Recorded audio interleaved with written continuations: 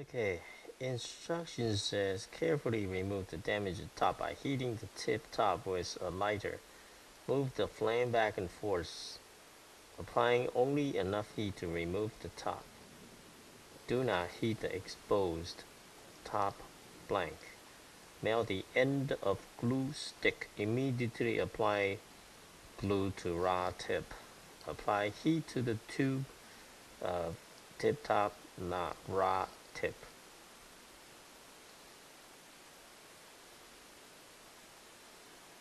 And slide on rod tip.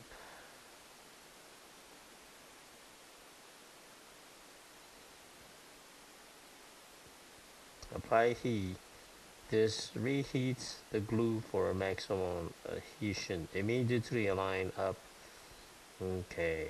Hold for 3-4 seconds while blue stick. Okay. So that is the instruction. So this is the tip rod or tip tip top by heating tip top with a lighter. Move the flame back and forth applying only enough heat to remove the top. Hmm. Okay, not sure what that was, but I'm just gonna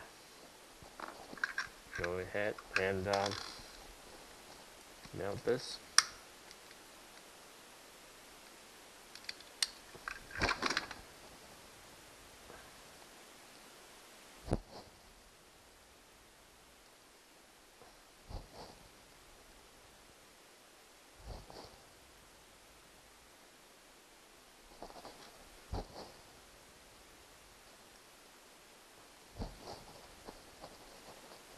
Think I need to melt it a little bit more.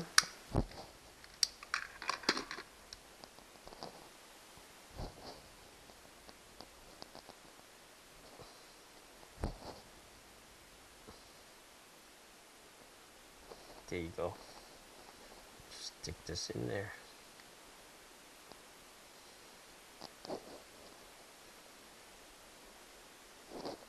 Hold it for three, four seconds.